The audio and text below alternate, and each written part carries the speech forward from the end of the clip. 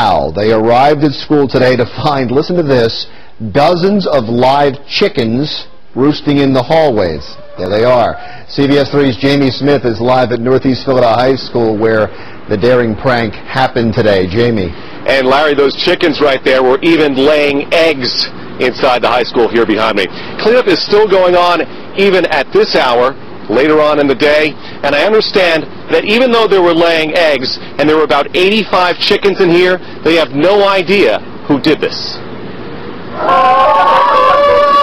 Making noise like students at dismissal, these chickens, just like students do each day, just got out of about eight hours in high school. I was told that uh, there were chickens in the building.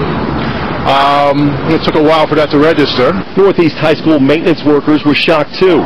First to discover more than 80 hens running loose inside the building early this morning. I seen bird cheese everywhere. It was chicken poop everywhere.